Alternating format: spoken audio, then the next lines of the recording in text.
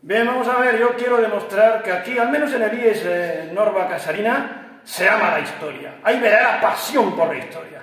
Dicen que los alumnos de segundo de bachillerato abominan de la historia, que es una materia que les aburre, que les cansa, y eso es mentira, y lo vamos a demostrar.